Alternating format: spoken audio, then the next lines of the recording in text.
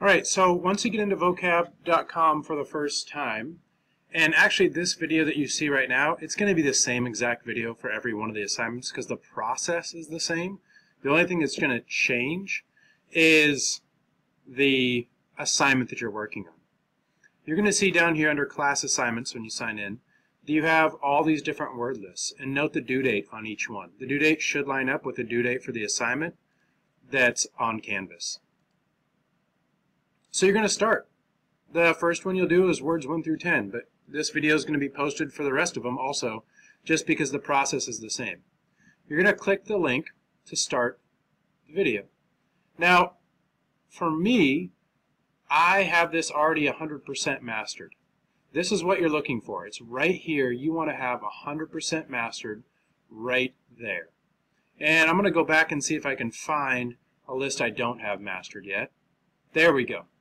So when you start a new list, here's what it looks like. Now the most important button for you to hit is Add to Learning Program.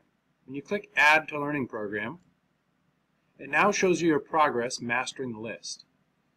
You need to get up to 98% at least on the progress of mastering the list, which is different than just completing one practice session. So you're going to keep playing this game up here until you get this progress list to 98%. Now remember, you don't have to do this all in one day. That's why there's one list a week per, per week that's due.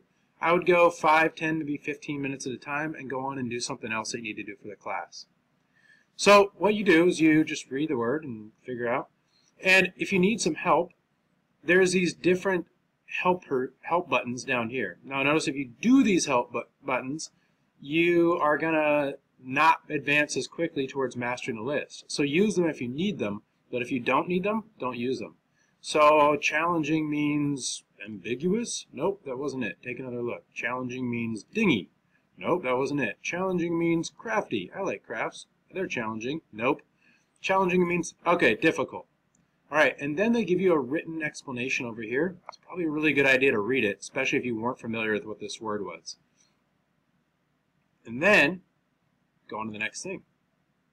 So you go through, and I'm going to pause and show you some different interfaces in a second.